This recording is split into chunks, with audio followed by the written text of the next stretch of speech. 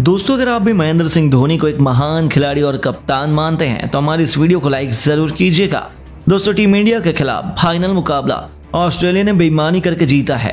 तो अब आईसीसी को सौंपे गए सबूतों पर बहुत बड़ा खुलासा हुआ है। ऑस्ट्रेलिया की बेईमानी की तस्वीर अब पूरी दुनिया के सामने आ चुकी है। वहीं आईसीसी के डेविड रिचर्डसन ने भारत ऑस्ट्रेलिया के बीच दोबारा मैच कराने पर जो कहा, जानकर पूरा भारत जश्न में डूब गया। तो आखिर क्या कुछ कहा आईसीसी के चीफ डेविड रिचर्डसन ने? कैसे ऑस्ट्रेलिया को दिया उन्होंने 440 वोल्ट का झटका? ये सब कुछ तो हम आपको दिखाएँगे, लेकिन उससे पहले आपको क्या लगता है? क्या भारतीय टीम को ऑस्ट्रेलिया ने बेईमानी सराया है? अपनी राय हमें नीचे कमेंट बॉक्स में ज़रूर बताइए। दोस्तों, अहमदाबाद के मैदान पर इंडिया और ऑस्ट्रेलिया के बीच कांटे का मुकाबला खेला जा रहा था। भारतीय टीम ने भले ही 240 रन बनाए थे, लेकिन इसे डिफेंड करते हुए समय और बुमराह ने कहर बरपा दिया। अपने टॉप तीन बल्लेबाजों को गंवाने के बाद लाबू सेना और ट्रेविसेट ने मजबूती से बल्लेबाजी करते हुए डेढ़ रनों की पार्टनरशिप बनाई और टीम इंडिया की जबर से जीत को छीन लिया। भारत फाइनल में यह टूर्नामेंट हार गया। और तीसरी बार चैंपियन बनने का मौका गवा बैठा, लेकिन दोस्तों, असली सच्चाई तो अब निकलकर सामने आई है। ज़्यादा फ़सल मुकाबले के दरमियान एक ऐसा लम्हा निकलकर सामने आया, जिसने बता दिया कि भारत के खिलाफ किस कदर हार की साजिश रची जा रही है।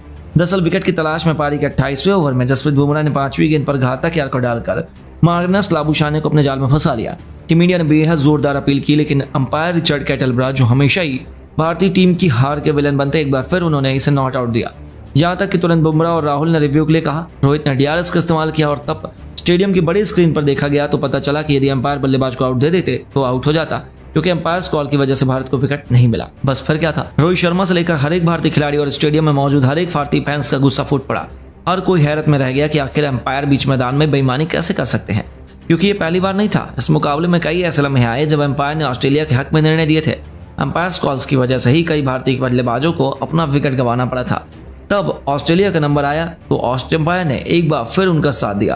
अंपायर ने लाबुशन को नॉट आउट देकर हर किसी को हैरान कर दिया, क्योंकि कोई बच्चा भी बता सकता था कि वह विकेट के बिल्कुल सामने है, और वह साफ़ तौर पर आउट हो जाते, लेकिन अंपायर ने यह खुलेआम हरकत की तो फैंस का गुस्सा फूट पड़ना लाजमी था। यह घटना भी इस वक्त सबसे अधिक सुर्खियों में छाई हुई है।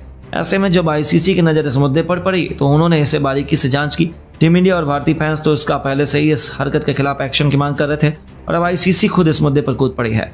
अब आईसीसी के फॉर्मर चीफ डेविड रिचर्डसन ने बयान दिया। मैंने हमेशा ही भारत का साथ दिया है और मैं जानता हूँ कि भारत हमेशा एक ईमानदार टीम रही है। टीम इंडिया ने आज तक किसी भी मामले में बेईमानी नहीं की, खासतौर पर ऐसे किसी बड़े टूर्नामेंट में। लेकिन जब कोई भी टीम आपसे बेईमानी करके जीते तो आपका पूरा अधिकार होता है कि आप उसके खिलाफ आवाज़ उठाएँ। और भारत ने बिल्कुल सही किया। ऑस्ट्रेलिया की टीम ने जो बेईमानी फाइनल मुकाबले में की है और रिचर्ड कैटलब्रा जिन्होंने उनका साथ दिया, बिल्कुल गलत था। और अब उन सबको परे हटकर हम सभी फॉर्मर आईसीसी चीफ की बैठक बुलाई गई थी। और इतिहास में पहली बार यह फैसला लिया जाना था कि इन दोनों टीमों के बीच फाइनल मुकाबला दोबारा होगा या नहीं। हम सभी ने माना कि ऑस्ट्रेलिया ने हो सकता है कई हद तक बेईमानी की, लेकिन उनके इरादे बेईमानी करने वाले नहीं थे। इसमें जितनी भी गलती है, वह अंपायर की है। और यह मुकाबला एम्पायर की वजह से फंसा है। और यदि इस मैच में भारत हारा तो एम्पायर की गलती से। इसीलिए आईसीसी इस बात की कड़ी निंदा करता है। वहीं दोस्तों आईसीसी ने बताया कि यह फाइनल मुकाबला दोबारा करना आसान नहीं है। ऐसे में हम सब एक बार फिर मीटिंग करेंगे और बहुत जल्द आपको यह फैसला सुनाया जाएगा और मैं भरोसा दिलाता हूँ कि फैसला भारत के हक में होगा।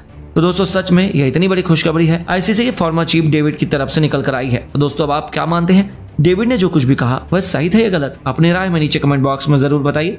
और ऐसी शानदार खबरों के लिए हमारे चैनल को सब्सक्राइब करना ना भूले। धन्यवाद।